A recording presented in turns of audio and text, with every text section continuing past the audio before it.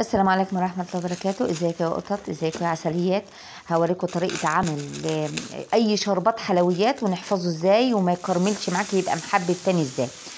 ده اللي تستخدميه وتحطيه معاكي في التلاجة تستخدميه في أي وقت ويبقى غاز واحد ومرة واحدة. معانا كيلو سكر ويكون أبيض يا ريت عشان لما تيجي تحطيه على الحلويات بتاعتك ما يسمرهاش.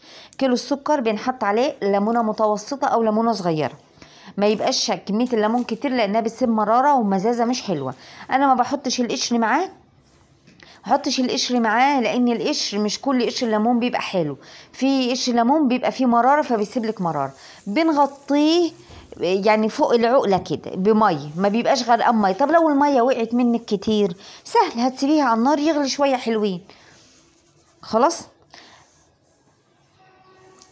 أهو.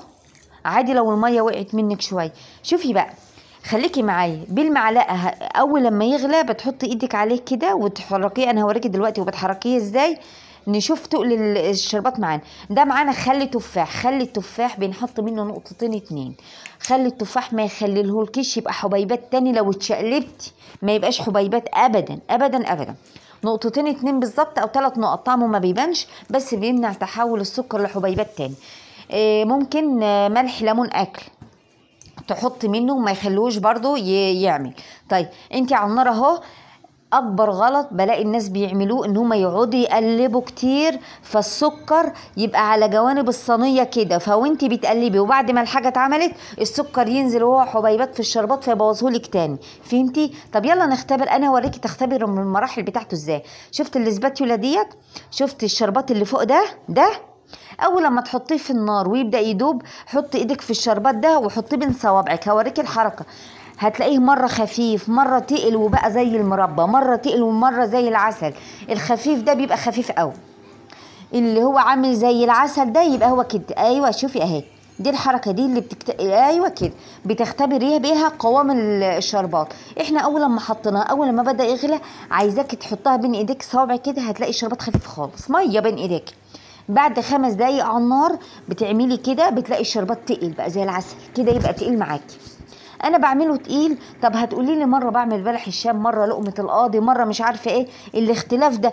أنا باخد من الشربات ده في حلة صغيرة يخلص أحط في حلة تاني. بعد ما الشربات دفي بحط كيسين فانيليا.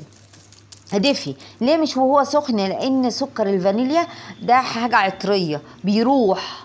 أول لما تحطيه وهو سخن على النار وهو دافي كده نعمله. وخلي بالك إنك تقلبيه جوه السكر ما تسيبوش على الجوانب لأن هو سكر. إحنا جر... إحنا عملنا مع بعض سكر الفانيليا وعرفتك الفكرة إيه. شوفي في الفيديوهات القديمة. وتحفظيه بقى لما يبرد بقمع كده تحطيه. أنا حطيته في إزازة كوكاكولا أهو معايا وبحطه في جنب التلاجة. التلاجة بتاعتي ضيقة ما بياخدش أي مكان.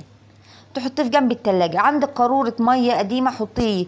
إيه، إزازة مية ساقعة اقفلي وحطيه. هتيجي تعملي أي حاجة تاخدي على قد الحاجة وت- وتستنفعي بيها.